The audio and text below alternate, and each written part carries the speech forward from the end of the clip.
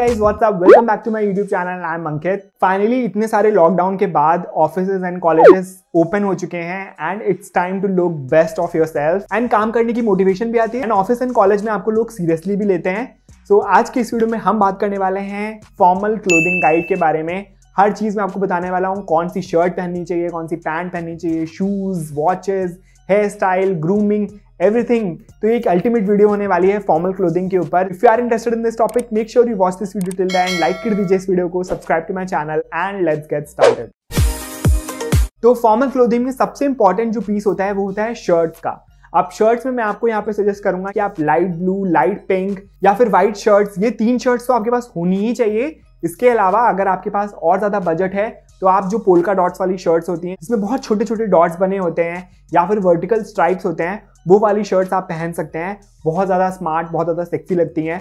बहुत ज़्यादा जो डार्क कलर्स होते हैं, जैसे कि ब्लैक ब्लू डार्क ग्रे ये वाले अवॉइड करने चाहिए, क्योंकि वो थोड़े से फॉर्मल कैटेगरी में नहीं आते हैं। इसके साथ साथ आपको एक चीज़ और ध्यान रखनी चाहिए, कोई भी शर्ट पहन रहे हैं, उसमें कोई भी पैटर्न है तो उसमें मोर देन टू कलर्स नहीं होने चाहिए। अगर दो से ज़्यादा कलर होते हैं तो वो थोड़े से इनफॉर्मल कैटेगरी में आ जाते हैं। शर्ट के बाद जो सबसे इंपॉर्टेंट होता है फॉर्मल वेयर में वो होती है पैंट्स पैंट्स में चीनोज जो होती हैं या फिर जो टाइट ट्राउजर्स होते हैं, वो बिल्कुल अवॉइड करनी चाहिए आपको. जो पैंट्स होती है, जो अगर आपके पास सूट होगा, उसके नीचे जो पैंट्स मिलती हैं, वो वाली आपको पहननी चाहिए तो वो बहुत ज़्यादा स्मार्ट लगती हैं. मैं आपको सजेस्ट करूँगा कि आपको डार्क ब्लू एक ब्लैक ये तो होनी ही चाहिए. अगर आपके पास थोड़ा सा और ज़्यादा बजट है तो आप खाकी में भी इन्वेस्ट कर सकते हैं. ये तीन अगर आपके पास पैंट्स हैं तो आपका पूरा वीक शॉर्ट हो जाएगा, क्योंकि ब्लैक एंड ब्लू कलर ऐसा है कि वो आप काफ़ी सारे कलर के साथ मिक्स एंड मैच कर सकते हैं। अब पैंट्स के नीचे आपके आते हैं शूज़ तो शूज़ में मैं आपको सजेस्ट करूँगा कि आपके पास सिर्फ़ दो शूज़ होने चाहिए, एक ब्लैक और एक ब्राउन ब्राउन में भी मैं आपको सजेस्ट करूँगा कि आप डार्क ब्राउन की तरफ़ जाइए, क्योंकि हर आउटफिट के साथ चला जाता है और बहुत जल्दी गंदा भी नहीं होता है। और आपके शूज़ से कलर से मिलती ही बेल्ट होनी चाहिए। आजकल टू इन वन बेल्ट चलती है।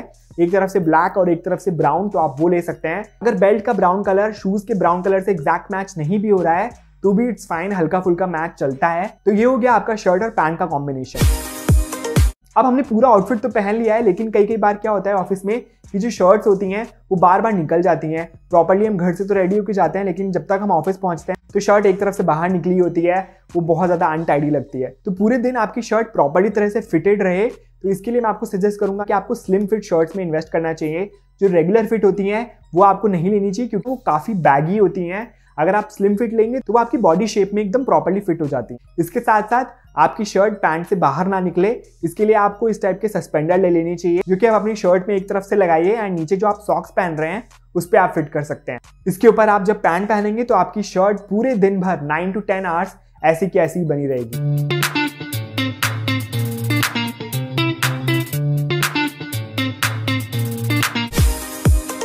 शर्ट हम ऐसे ही पहने या फिर उसके नीचे हमें अंडर शर्ट पहननी चाहिए? तो ये बहुत ज़्यादा इंपॉर्टेंट क्वेश्चन होता है। क्योंकि ऑफ़िस में कई बार क्या होता है, हमें स्वेट आ जाता है और अगर हमने अंडर शर्ट नहीं पहनी होगी तो पसीना बहुत ज़्यादा दिखने लग जाता है, क्योंकि बहुत खराब दिखता है। तो यहाँ पे मैं आपको सजेस्ट करूँगा कि आप अगर अंडर शर्ट पहन रहे हैं तो व्हाइट कलर की अवॉइड करिए, क्योंकि व्हाइट जो कलर होता है वो बहुत जल्दी सी थ्रू हो जाता है। तो best colour is grey colour ये आप पहन लेंगे और उसके ऊपर अगर आप शर्ट पहनेंगे तो बिल्कुल भी सी थ्रू नहीं होता है, पसीने में भी खराब नहीं दिखता है और अगर आपके अंडर आर्म्स के पास बहुत ज़्यादा स्वेट आता है तो आप स्वेट पैड्स यूज़ कर सकते हैं। जो कि बहुत अच्छा ऑप्शन है, बिल्कुल भी अनकंफर्टेबल फील नहीं होता है I been using it in fact मैंने अभी भी पहन रखा है।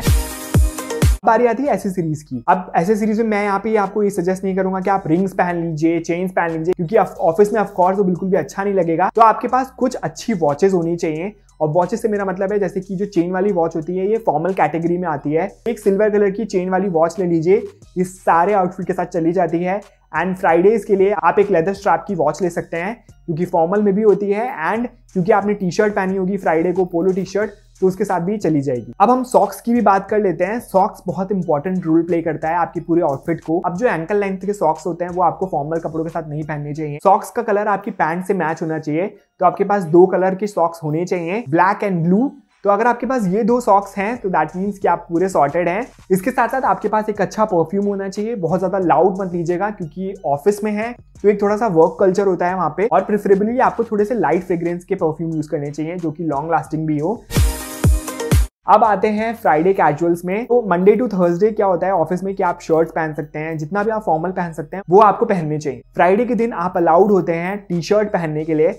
अब टी शर्ट में भी मैं आपको सजेस्ट नहीं करूँगा कि आप राउंड नेक की या फिर जो बड़े बड़े ग्राफिक्स बने होते हैं, वो पहन के जाइए, क्योंकि स्टिल हम ऑफ़िस में काम करने जा रहे हैं इट्स एन वर्किंग इन्वायरमेंट तो वहाँ पे इस टाइप के कपड़े थोड़े से अवॉइड करने चाहिए। आप पोलो टी शर्ट्स पहन सकते हैं। मैंने यहाँ पे ब्लैक एंड ब्लू कलर की पोलो टी शर्ट्स ली है, जिसमें बहुत ज़्यादा प्रिंट्स नहीं बने हुए हैं। कॉलर के पास डिटेलिंग है हैंड के पास डिटेलिंग है एंड प्रॉपरली फिटेड है। ये बहुत अच्छी लगती है कॉलेज में एंड ऑफ़िस में फ्राइडेज को। और नीचे आप पैंट्स मत पहनिए। आप इसके नीचे एक सिंपल सी ब्लू कलर की डेनिम पहन सकते हैं, जिसमें पैटर्न नहीं बने हैं रगेड नहीं है। तो ये बहुत ज़्यादा स्मार्ट लगती है। अब ऑफ़िस के लुक को कंप्लीट करने के लिए मैं आपको सजेस्ट करूँगा कि आप एक अच्छे से लेदर बैग में भी ज़रूर इन्वेस्ट करिए। ये लेदर बैग मैंने अमेजोन से लिया है 999 का पड़ा है मुझे। बहुत ज़्यादा अच्छा है बहुत ज़्यादा स्मार्ट है। आप इसको ऑफ़िस में भी ले जा सकते हैं कॉलेज में भी ले जा सकते हैं। इसमें आपका लैपटॉप भी आ जाएगा आपकी जो इंपॉर्टेंट फाइल्स हैं वो भी आ जाएँगी। So, एक स्पेशियस लैपटॉप बैग होना भी बहुत ज़्यादा ज़रूरी है। सबसे इंपॉर्टेंट रोल प्ले करता है और जो बहुत ज़्यादा लोग अवॉइड करते हैं which is your hair style and your beard game office में आपको बहुत ज़्यादा स्पाइक्स और फंकी जो हेयर स्टाइल्स होती हैं वो अवॉइड करनी चाहिए। क्योंकि वो थोड़ी सी अनप्रोफेशनल कैटेगरी में आ जाती है और आपको लोग सीरियसली नहीं लेते हैं। फेडेड कट में आप जा सकते हैं, जैसा मैंने अभी करा रखा है विच इज़ साइड से मैंने बहुत लाइट से करा रखे हैं। और जो ऊपर की लेंथ है, वो मैंने शॉर्ट टू मीडियम रखी हुई है। ये बहुत ही अच्छी हेयर स्टाइल है। साथ साथ मैं बियर्ड में आपको सजेस्ट करूँगा कि बहुत जो बड़ी बियर्ड होती है या फिर फ्रेंच कट होती है, वो अवॉइड करिए। वो अच्छी नहीं लगती है। मैंने जैसे पूरी बियर्ड को वन या टू नंबर पे ट्रिम करके रखा हुआ है। ये बहुत अच्छी लगती है ऑफ़िस में भी और कॉलेज में भी। इसके साथ साथ जब हम शर्ट पहनते हैं तो शर्ट में से जो चेस्ट के बाल होते हैं, कई लोगों के दिखते हैं, वो बहुत अनटाइडी लगते हैं तो उनको भी आप ट्रिम करिए प्रॉपरली एंड आपका पूरा फॉर्मल आउटफिट रेडी है। सो so गाइज़ ये थी पूरी एक गाइड मेरी फॉर्मल ऑफ़िस वेयर के ऊपर। मुझे लगा इस पर वीडियो बनाना बहुत ज़्यादा ज़रूरी है, क्योंकि फाइनली ऑफ़िस शुरू हो गए हैं, मेरा भी शुरू हो गया है। आई नो कि हम रोज नहीं जाते हैं बट हफ़्ते में एक या दो दिन तो जाना ही पड़ता है। एंड उन दो दिनों में आपको अपना बेस्ट दिखना चाहिए सो so दैट आपका जो इंप्रेशन है, आपके जो कलीग्स के ऊपर थोड़ा सा स्ट्रॉन्ग बने एंड लोग आपको सीरियसली भी लें। So that's it for today's video अगर आपको वीडियो अच्छा लगा तो इस वीडियो को लाइक कर दीजिए subscribe to my channel press the bell notification and I will see you in my next video till then bye